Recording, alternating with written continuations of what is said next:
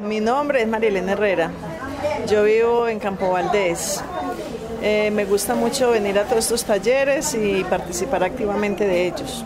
Tejer es, eh, es un legado que nos dejaron nuestros ancestros y eso es algo que nos relaja, es muy, pues, es muy gratificante aprender a tejer.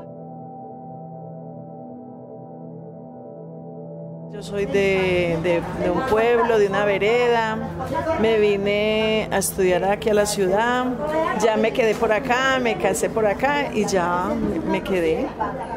Entonces esa muñeca pues eh, ya la, la, asocié como soy yo. Yo soy muy, soy muy alegre, soy muy activa, me gusta mucho molestar y todo eso. La muñeca simboliza la pujanza, la alegría, la, la berraquera, como decimos los antioqueños.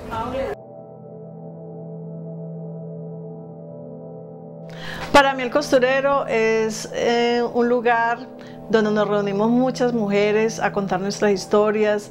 Eh, nos, nos, comunicamos, pasamos muy bueno y por eso yo me amaño mucho en el, costurero. Le cogí mucho cariño, pero ahora estoy muy encariñada con todas estas artesanías que estamos haciendo y más también con las compañeras nos animamos.